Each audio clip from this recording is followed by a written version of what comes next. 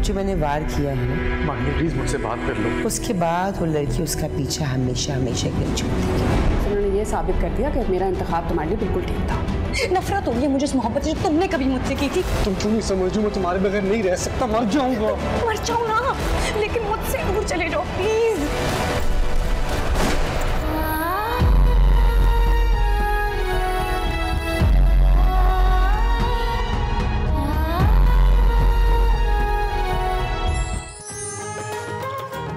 मुझे प्यार हुआ था। देखिए, आज रात नौ बजकर पैतालीस मिनट। सिर्फ़ ए आर वाई डिजिटल पर।